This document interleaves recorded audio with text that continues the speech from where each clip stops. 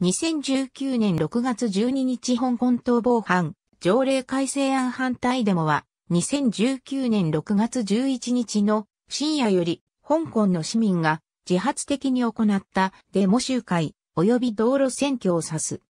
デモ活動は主に今首都中間で行われ、香港政府による2019年逃亡犯条例改正案の撤回を目的とする。デモ集会では、キリスト教徒が立法会総合ビル近辺を訪れ、夜通しで聖歌を歌う一幕もあった。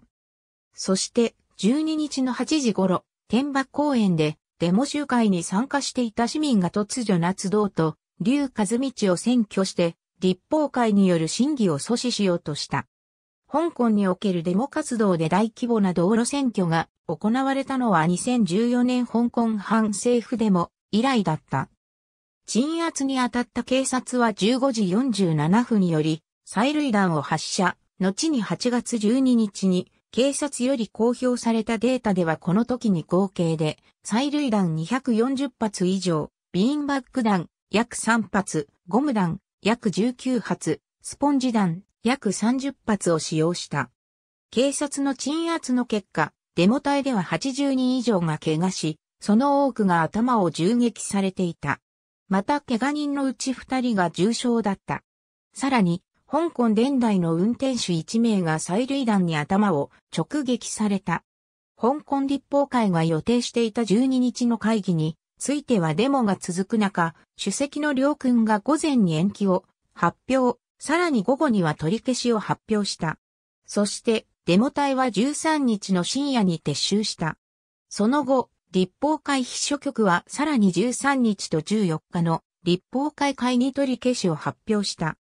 警察はデモ隊が撤収した後に逮捕に動き、多くのデモ参加者を病院で逮捕した。15日、行政長官の林定月がは、解説と意見聴取が終わるまで、法改正を延期したが、撤回は拒否した。その結果、翌16日には、民間人権人選が主催する2019年6月16日香港逃亡犯条例改正案反対デモが行われ、主催者発表で200万人が参加した。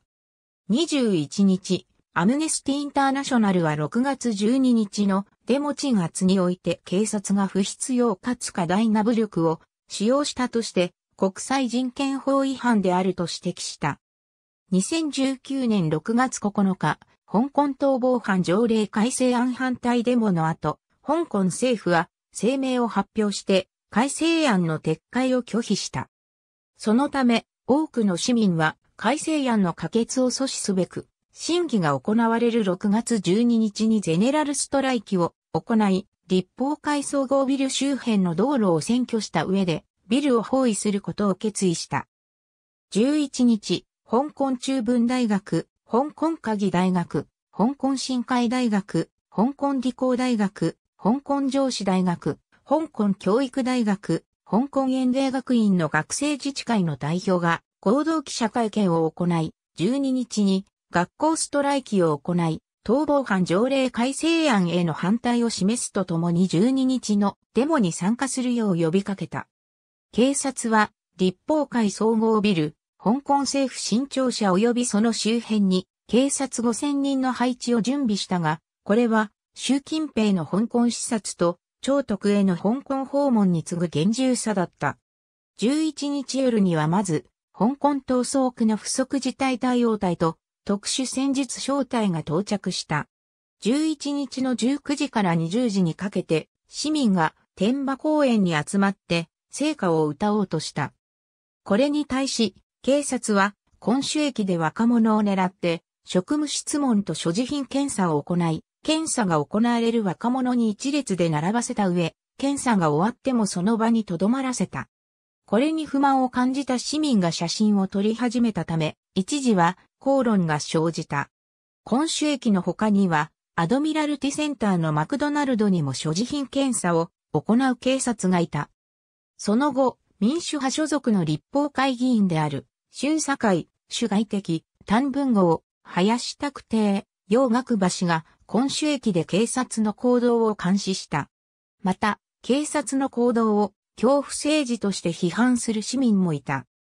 天馬公園に集まるデモ隊レミントン M870 を持つ機動隊6月11日、警察がタマールパークと立法会総合ビル周辺に配置されるとともに、タマールパークの芝生の一部も管理作業を口実に閉鎖された。立法会は黄色系示せを発し、立法会ビル近くのデモ区画や香港政府新庁舎の前にある公民広場が閉鎖された。一方、香港牧師連所準備委員会が開催する72時間連続で祈るイベントは、意義なし通告を得て10日より続いており、11日夜には、今主に集まった多くの市民が参加した。この最中、デモ隊は、インスタントメッセージシステムのテレグラム経由で、情報共有や議論を行い、多くの団体が、テレグラムに情報発信チャンネルを設立した。この最中にも市民が続々と今主に集まり、祈りの他には、天体観望やタマールパークの芝生でピクニックを行う市民も多かった。この状況は12日の早朝まで続いた。また、前室の祈りイベントは3日目となる12日の早朝にも続いた。12日の11時13分頃、今主道の西行き3車線で通行止めをしている自動車4台。12日朝、今主周辺の道路で減速走行を繰り返す自動車が現れた。その目的は交通渋滞を引き起こして、立法会議員を立法会にたどり着けなくすることだった。9時35分には、今主道で自動車4台が故障して止まり、東行き4車線が通行止めされた。その他にも、今主周辺の道路で多くの交通事故が起こったが、いずれも怪我人は出なかった。10時にはバス1台が津下田道の東行き車線で後方発進しようとしたが、バスが長すぎたため4車線にまたがる形で動けなくなった。デモ隊が夏道を占拠する様子12時頃の空中写真。デモ隊が占領した範囲を示す。7時55分、タマールパークとその周辺にあるデモ隊は突如夏、道と竜和道に飛び出して、それを占領した。その後、デモ隊と警察の間で道路の占領をめぐり、一進一退を繰り返したが、8時30分までに、デモ隊が、津下志田道と夏道の6車線の占領に成功した。これにより、立法会への立ち入りが不可能になり、立法会の公務委員会が予定した会議は取り消された。逃亡犯条例改正案の審議は11時に予定されていたが、状況が変わらなかったため立法会秘書局は10時50分に会議をやや後時間に延期することを発表した。その間にもデモ隊が占領する地域が拡大、12時15分には今主導の占領に成功した。デモ隊の占領が進む一方、県政派の議員は14時頃にミニバスを乗って中区警察署を離れた。この時は行き先が不明だったが、後に警察が用意した隠れ家に移動したことが判明した。16時頃、天美道で大量の催涙弾が警察より発射された様子警察が夏道で催涙弾を発射する様子現場で鎮圧の経過を目撃した聖職者が後に記者会見で回想したところによると15時から15時半までの間、デモ隊は警察の防御線を攻撃しなかった。15時半頃、警察が、竜和道と天下道で赤旗を掲げた。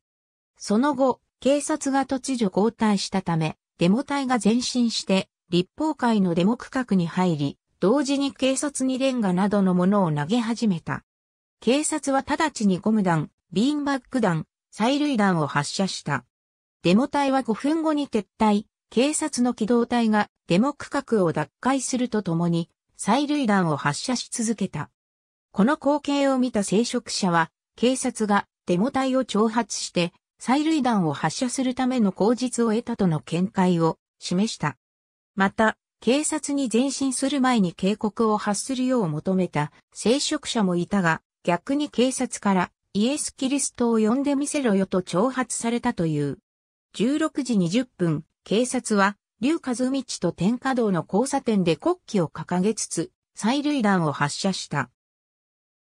混乱の最中、警察がすでに倒れていたデモ参加者を攻撃するという事件と銃をデモ隊に向けるという出来事が起こった。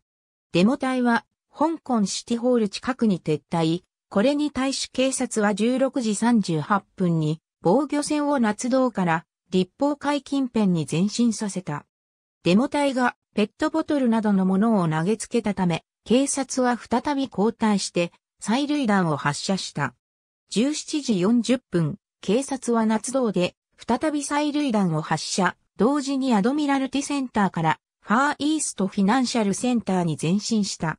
これに対しデモ隊は、被爆道中に撤退、さらに48分には統一中心に撤退した。その後、警察がバリケードを撤去する傍らデモ隊が新たにバリケードを設置するというがあったが、18時7分には立法センターの外で退治した。この最中には警察が警告なしでゴム弾を発射しており、警察を全く攻撃していない男性1名が右目を撃たれるという事件が起こった。この男性は一時暴動の角で逮捕され、後に損害賠償請求を提起すると宣言した。また、香港電台の運転手1名が車から降りるときに、催涙弾に直撃され、一時は心臓が止まるほどの重傷だったが、後にクイーンメアリー病院に運ばれ、一命を取り留めた。民主派の議員の多くが、今週に駆けつけて、デモ隊を守ろうとしたため、林拓帝や高壁雲が警察による唐辛子スプレー攻撃を受けることになり、教育業界代表議員用立源は林を休ませるために、立法会の駐車場経由で立法会に向かおうとしたが、議員であると身分を表明したにもかかわらず警備員に立ち入りを拒否された。他にも天秤道と夏道の交差点で警察が記者に銃を向け、さらに記者に向かって催涙弾を発射したという事件が起こった。これを目撃した英語圏の記者が、ここはまだ香港だ。中国ではない。今はまだ。と叫んだ。警察は16時に立法会のデモ区画で催涙弾を発射する傍ら、天美道と流合街の2方向から前進してデモ隊を包囲しようとした。デモ隊は慌てて最も近い建物であるスティックタワーに逃げ込もうとしたが、タワーの片側にあるガラス扉には鍵がかかっていたため、もう片側のガラス扉と回転扉で入るしかなかったが、これにより一度に2、3人しか入れず、タワーの外にデモ隊数百人が止まる結果となった。後に目撃者が回想したところによると、この時タワーに入ろうとしたデモ隊は1000人近くいたという。そこへ警察が催涙弾を発射してきたため、デモ隊がさらにガラス扉と回転扉に殺到するという状況になり、デモ隊が回転扉に引っかかって出られない状況にならないよう、タワーに入ったデモ隊は、回転扉を使用されないよう反対側から押したという。タワー内に逃げられず、催涙弾の攻撃を受け続けるしかなかったタワー外のデモ隊は、阿鼻教官の状態となった。タワー内のデモ隊はもう片側にある鍵のかかったガラス扉を鉄の柵で衝撃を与えて壊そうとしたが、これは失敗に終わった。一方の警察は防御線を引き続き推し進めたため、デモ隊が危うく将棋倒し状態になろうという状態になった。タワー内のデモ隊は一部が上の木座橋に向かい、下の木座橋にデモ隊が入るスペースができるようにしたが、やがてすべてのフロアに非常階段までがデモ隊で溢れ、呼吸困難や喘息の発作をきたす人が続出した。さらに催涙弾の煙がタワーの最上階に拡散すると、タワーの最上階にいるデモ隊が息苦しくなって、助けを求めたため、デモ隊は2階の歩道橋を通って脱出し始めた。デモ隊がタワーに逃げ込み始めてから脱出するまでの時間は約30分間だったが、脱出したデモ隊の多くは命拾いしたという感想だったという。2020年5月、警察への苦情を受け付ける警察の苦情処理への独立監察委員会は2019年から2020年香港民主化デモにおける警察の行動に関する報告を発表して警察の言い分を全面的に採用、デモ隊の撤退経路には何ら障害がなく、むしろ民間人権人選が建てた。公園台の方がデモ隊の視線を遮蔽したとしたが、電話社によるファクトチェックでは、警察がシティックタワーの正面にある隆起道、並びに天火道近くで防御線を設けており、さらに催涙弾を発射してデモ隊を追い込んだため、デモ隊はシティックタワーに入るしかないことが判明した。また、独立監察委員会が招聘していた専門家、クリフォード・ストットも、報告のうち6月12日のデモに関する記述に同意しなかった。警察の攻撃を避けて、パシフィックプレースに入ったデモ隊、パシフィックプレースには、大勢のデモ隊が警察の攻撃を避けてやってきており、商店は18時よりすべて営業を停止していた。また、今主駅は夕方よりいくつかの出口が閉鎖された後、20時30分には駅全体が閉鎖され、湾線と港東線はともに今主駅に止まらずに通過し、今主駅を終点とする南港東線はその前の駅である海洋公園駅を終点とした。これにより南港東線と港東線の連絡が断たれたため、代わりに海洋公園駅と県日常駅の間を臨時バスが走ることとなった。夜には仕事終わりの市民が続々とやってきて、デモ隊の占領地域が再び今週、中間、ワンチャイの3地域に拡大した。一方、立法会秘書局は18時に12日中に会議を開催しないことを発表した。これは逃亡犯条例改正案の審議が13日以降に延期されることを意味した。その後、13日午後に審議のさらなる延期が発表された。12日の17時42分、警察は同日のデモを騒乱と呼称したプレスリリースを発表したが、21時過ぎには暴動に解消した。警察は解消の理由を誤訳の訂正とした。13日に行われた警察の記者会見においては、警察局長ロイサト氏がデモ隊をボートであると呼称した。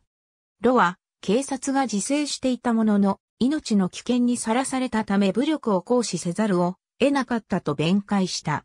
同日19時過ぎに放送された林定月画のインタビューでは、林が涙ながらに自身が香港を売るということをしておらず、ハン・アキラへ殺人事件を解決させなければならないと述べた。しかし、20時過ぎには再び発言して、12日でも暴動であると批判した。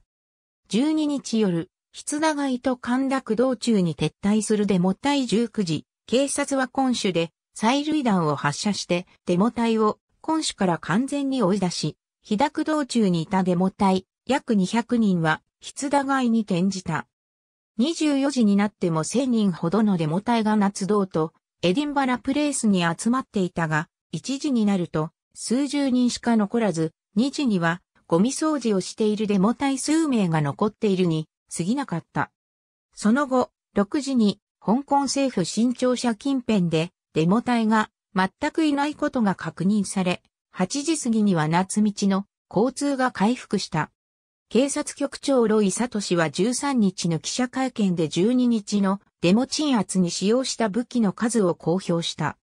内訳は催涙弾150発以上、ビーンバック弾20発、ゴム弾数発であり、他にも、警棒、唐辛子スプレーが使用されたという。その後、8月12日にデータが更新され、合計で催涙弾240発以上、ビーンバック弾約3発、ゴム弾約19発、スポンジ弾約30発を使用したとした。デモ隊はインスタントメッセージシステムのテレグラム経由で情報共有や議論をしたが、テレグラム社は12日夜に強力な DDoS 攻撃を受けたと発表した。テレグラム社の最高経営責任者、パーベル・ドゥーロフは、テレグラムに送りつけられたリクエストの大半が中国由来であると発表したが、これに対し中国外交部のスポークスマン構想は、中国が関与したかどうかについて明言を避け、中国もネットワーク攻撃の被害者であると発言した。13日9時過ぎの小規模でも13日の9時過ぎ、機動隊により封鎖されていたシティックタワーへの歩道橋に100人近くのデモ隊が集まり、歩道橋の開放を要求するとともにプラカードを掲げて撤回のスローガンを叫んだ。これに対し、民主派の立法会議員バリ町優が11時に駆けつけ、13日中に逃亡犯条例改正案の審議が行われないことを確約すると、デモ隊は撤収した。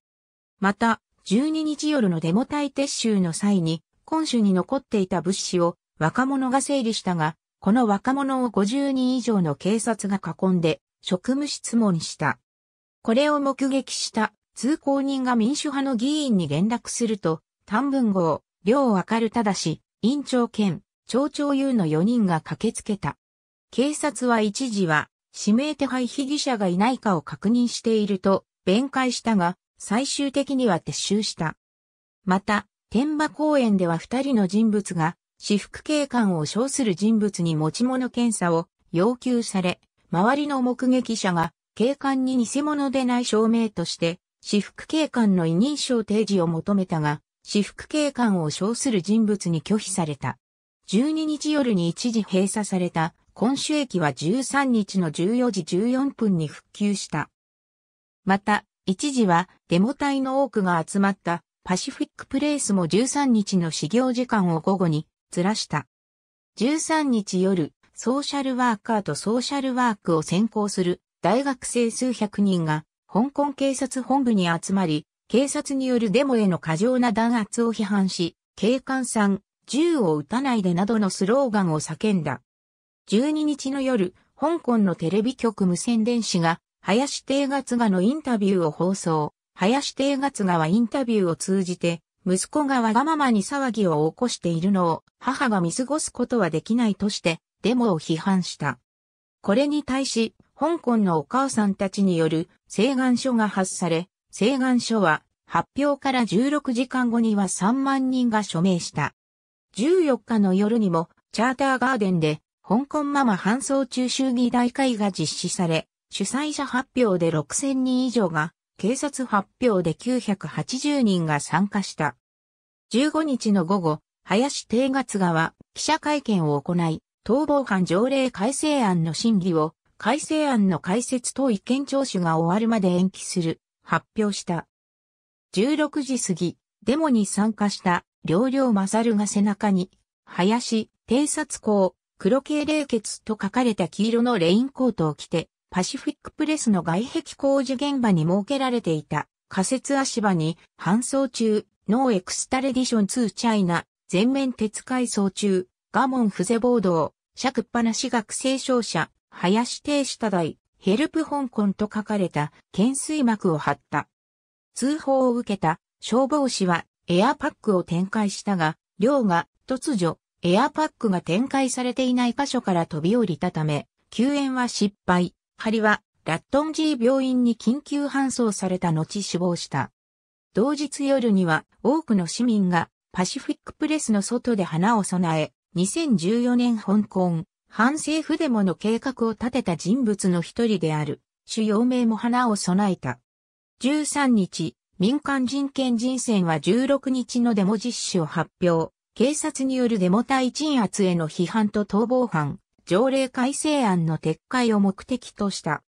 12日の9時過ぎ、病院管理局がメールで指令を発し、救急救命室のスタッフにデモ現場から運ばれてきた怪我人を警察、記者、市民、その他の分類で記録するよう命じた。入院したデモ参加者が警察の質問に対し、今種から来たと答えただけで逮捕されたとするデモ参加者の主張があり、これに対し警察は、病院でデモ参加者を逮捕したことを認めた。また、病院スタッフからの目撃情報によると、私服警官が病院に派遣され、治療を受けているデモ参加者を逮捕し、さらにデモへの参加により怪我した患者を保養用病室に入れるよう要求した。警察が病院でデモ隊を逮捕するという行動に対し、医療業界は強い不快感を示し、多くの業界団体が連名で声明を発表した。声明の内容は、警察が病院スタッフを妨害し、患者の治療を遅延させたことを批判するものであり、またこの行為により、病院スタッフと患者の間の信頼関係を破壊して、怪我した人が逮捕を恐れて病院に来なくなると批判した。医療業界代表議員のチンハイゼンも同様の見解を示し、警察が公立病院でデモ隊を逮捕しようとした時に、病院管理局が全く止めようとしなかったため、市民は恐怖して公立病院に来なくなると危惧した。公立病院の医者によると、対策としては、怪我と無関係な情報を言わないことが挙げられ、銃撃されたならば、そう言えばいい。棒で殴られたならば、そう言えばいい。ただし、誰が殴ったのか、どこで怪我したのかは言わないように、と助言した。また、看護師が警察を連れてきた場合、沈黙するようにとも助言した。15日には未だに公立病院にいる警察に不満を感じたスタッフが、あなたたちはここにいるべきではない。出て行くべきだ。なぜならば、あなたたちは犬であるからだ。と激怒し、警察から患者のいる場所を聞かれた。看護師が回答を拒否して、花で嗅いで探せば、と返答したという事件が起こった。17日、ジンハイゼンが救急救命室のパソコン端末に警察専用のページがあり、患者の個人情報に自由にアクセスできることを暴露した。中華人民共和国外交部は12日に中国の武装部隊が香港に進軍しているとの噂を否認するとともに、道路選挙が香港の繁栄と安定を損なう行為であるとして批判した。13日には12日デモが暴動であると発言した。14日、中国外交部は在中国アメリカ臨時代理大使、ロバート W. フォーデンを召喚し、アメリカが条例改正についてあれこれ言うことに不満を示した。在イギリス中国大使劉赤月名は13日に西側諸国のマスコミがデモ参加者数を誇張して事実を歪曲したと批判した。また、中国政府が香港政府に法改正を命令しておらず、それを止める権利もないと述べた。また、12日に NHK ワールド TV で香港デモが報じられた時、中国大陸での放送が一時遮断された。台湾人権促進会などの団体は6月12日に台北市で逃亡犯条例改正案の反対集会を開催した。中華民国総統、蔡英文は香港の警察が銃を撃ったことについて驚愕したと述べ、自由な台湾は香港の自由を支持するとも述べた。大陸委員会は香港にしばらく向かわないよう警告を発したが、これは大陸委員会による香港への警告としては史上初だった。また、香港からの難民が政治亡命を申請する場合の対応を検討しているとも述べた。デモより前の11日には外交部次長のジョココ県がこれは習近平による台湾版の一国二制度、宣伝にとって不利であると述べ、外交部長のゴツトム省は、あなたたちは孤独ではない。台湾は、あなたたちの味方だと述べた。イギリス政府は、香港政府に市民の憂慮に耳を傾けるよう呼びかけた。アメリカ合衆国大統領、ドナルド・トランプは、中国と香港が改正案問題を解決できるとの見解を示し、下院議長、ナンシー・ペロ氏は、デモ隊への支持を表明した。中国に関する連邦議会、行政府委員会主席ジム・マクガバンは、香港人権、民主主義法案の提出を表明した。香港における民主と自由の鎮圧に関わる香港と中国の官僚への制裁として、アメリカへの入国拒否とアメリカにおける資産凍結を骨子とする法案である。また、テッド・クルーズとエド・マーキーは上院で米国香港政策法の改正案を提出した。首相アンゲラ・メルケルのスポークスマンは、香港における主なデモが平和に行われたことに喜んだ。一方、ドイツ外務省のスポークスマンは逃亡犯条例が改正された場合、ドイツ、香港間の逃亡犯引き渡し協定が継続できるかについて検討する必要があると述べた。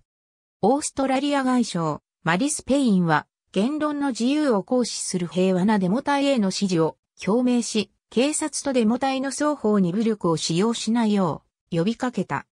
また、オーストラリア国民に対してはデモが行われる場所に行かないよう呼びかけた。欧州連合は声明を発表して、香港政府が集会の自由などの人権を尊重する必要があると指摘した。また、逃亡犯条例の改正が、香港人、欧州連合の国民、ひいてはその他の国の国民からの香港における商業への信任に深い影響を与えるとも述べた。